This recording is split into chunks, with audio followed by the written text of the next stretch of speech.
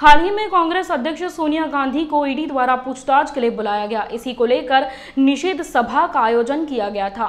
इस निषेध सभा में डॉक्टर बाबा साहेब आम्बेडकर के पुतले के पास अभिवादन करने के लिए आए कांग्रेस कार्यकर्ताओं द्वारा चप्पल पहनकर प्रवेश किया गया और कहा गया कि अगर कोई इसके बाद चप्पल पहनकर आया तो सांसद हो या फिर विधायक, उनको चप्पल मारे बगैर नहीं छोड़ेंगे।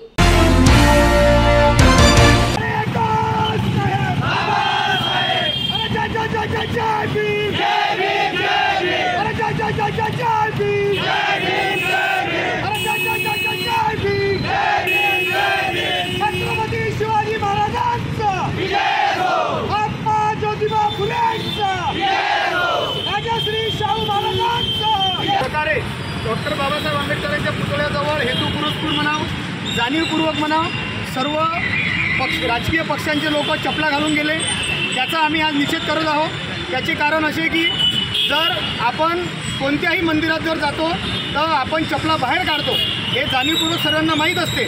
आणि लहान लेकरूसुद्धा जरी चपला घाल चप्पल घालून मंदिरात गेलं तर त्याचे आईवडील त्याला चप्पल घालून मागे ओढताना चप्पल काढायला लावतात. पण मात्र काल इथे जोही पक्षाचा ज्याही पक्षाचे इथे आंदोलन होतात डॉक्टर बाबासाहेब आंबेडकरांच्या पुतळ्याजवळून ज्याही पक्ष राजकीय पक्षाचे आंदोलन होतात त्यांना आम्ही वारंवार सांगून थकतो सांगून इच्छितो आणि सांगून थकलेलो आहे की आतमध्ये याच्या वेळेस चप्पल बाहेर काढत जा. मात्र नेते असतील आमदार खासदार असतील हे चप्पल बाहेर काढतात.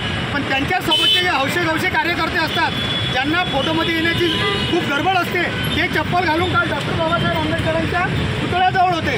म्हणून हा आम्ही सर्व पक्षांचा राजकीय जितकेही पक्ष आहे त्यात सेना असेल त्यात भाजप असेल त्यात राष्ट्रवादी काँग्रेस असेल त्यात काँग्रेस असेल आणि इतर कुठलेही पक्ष असेल एम आय एम असेल असे जे पक्ष इथे चप्पल घालून जातात हे हेतू पुरस्पूर यांचं ठरलेलं असते. आणि भाजप काँग्रेस राष्ट्रवादी यांचे आंदोलन इथून चालू होतात.